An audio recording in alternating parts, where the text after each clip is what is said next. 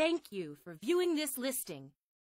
You won't want to miss this stunning two-bedroom and one-bathroom home. Take the first step in making this home yours and call now to schedule an appointment.